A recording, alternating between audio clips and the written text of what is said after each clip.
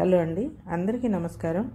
ఈరోజు నేను చెప్పబోయే చందమామ కథ అత్త కూడా అమ్మే కథ రచయిత్రి శ్రీ వసుంధర గారు. నేను సునీత వెల్కమ్ టు తెలుగు కథాలోకం. పెళ్ళై కొత్తగా కాపురానికి వచ్చిన శ్యామలకు జయమ్మ బొత్తిగా నచ్చలేదు. ఆ విషయం తనను చూడవచ్చిన మేనమామకు చాటుగా చెబితే ఆయన మీ అత్త మంచిని మెచ్చుకుంటుందని విన్నాను. మరి నిన్ను దేనికి మెచ్చుకోదా? అని అడిగాడు ఆశ్చర్యంగా. మెచ్చుకుంటుంది కానీ రోజుకు నాలుగైదు సార్లైనా నాలో లోపాలు ఎన్నుతూ ఉంటుంది అంది శ్యామల. మరి మీ అమ్మ అయితే రోజుకు పదిసార్లు నీలో లోపాలు ఎన్నేదని గుర్తు?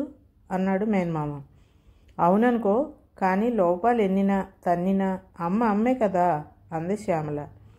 అయితే మీ అత్త నీకు ఇష్టమైన వంటకాలు చేయనివదా అని అడిగాడు మేనమామ. చేయనిస్తుంది కానీ పూటకి ఓ వంటకం నాకు ఇష్టం లేనిది చేయిస్తుంది అంది శ్యామల. మరి మీ అమ్మ అయితే పూటకి రెండు వంటకాలు నీకు ఇష్టం లేనివి చేసేదిగా? అన్నాడు మేనమామ.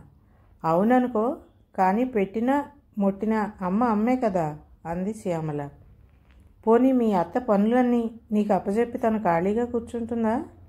అని అడిగాడు మేనమామ. కూర్చోదు కానీ తను కూర్చోనప్పుడు నన్ను కూర్చోనివ్వదంది శ్యామల. మరి మీ అమ్మ అయితే తను కూర్చున్నప్పుడు కూడా నిన్ను కూర్చొనిచ్చేది కాదేమో? అన్నాడు మేనమామ. అవుననుకో కానీ కూర్చోబెట్టిన నిలబెట్టిన అమ్మ అమ్మే కదా అంది శ్యామల.